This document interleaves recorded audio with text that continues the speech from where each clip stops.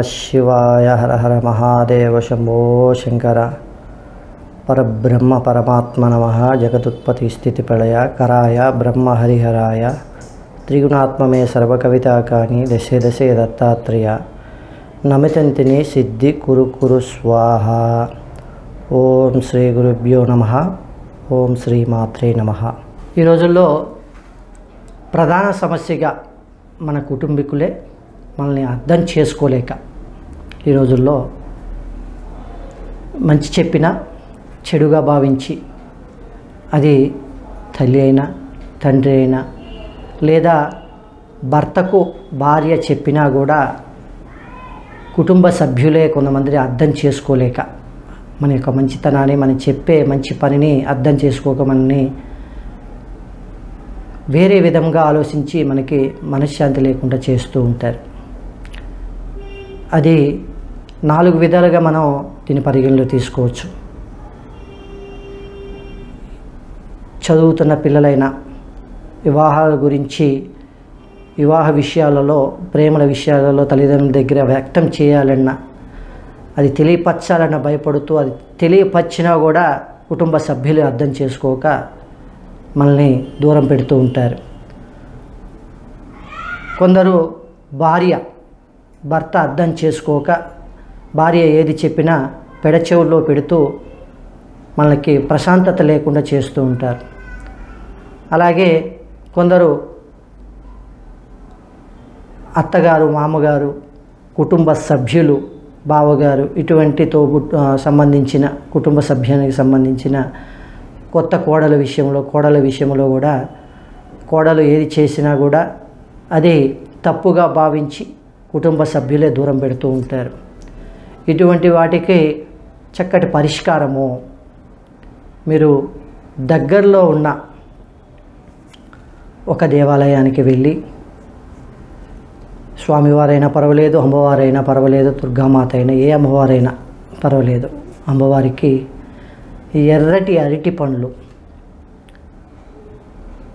ఎర్ర అరటి పండ్లు అని ఉంటాయన్నమాట. మనకి మెరూన్ కలర్లో ఉంటాయి అరటి పండ్లు. అది అరుదుగా దొరుకుతాయి. మనకి చక్కెరకేళి అరటి పండ్లు ఇప్పుడు కొత్త కొన్ని పొట్టి పొట్టి అరటి పండ్లు ఇటువంటి ఎన్నో చూస్తుంటాం పచ్చవి ఎల్లో కలర్లో. అవి కాదు. మెరూన్ కలర్లో ఉంటుంది రెడ్డి సగం.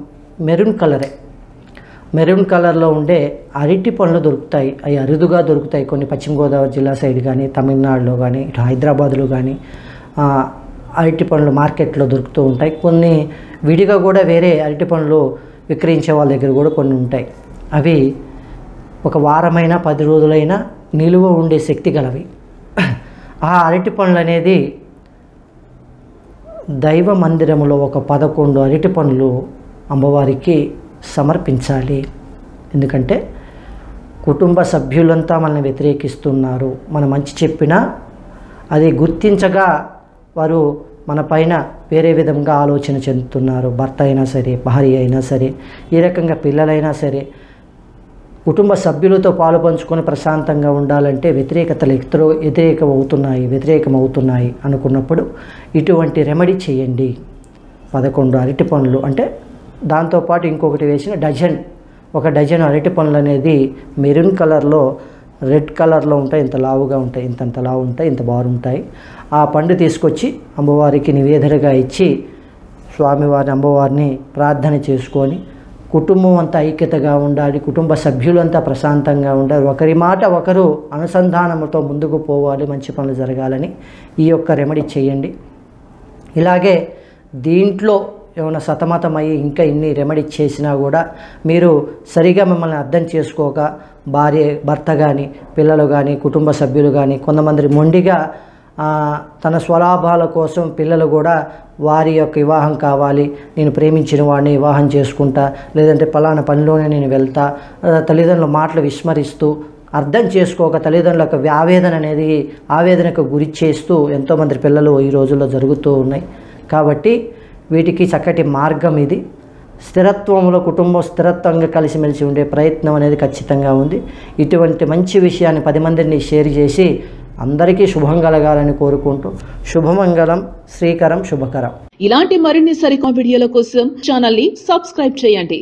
అలాగే ఇక్కడ ఉండే ఈ గంట సింబల్ని క్లిక్ చేయండి. మేము అప్డేట్ చేసే ప్రతి వీడియో నోటిఫికేషన్స్ మీకు వచ్చేస్తాయి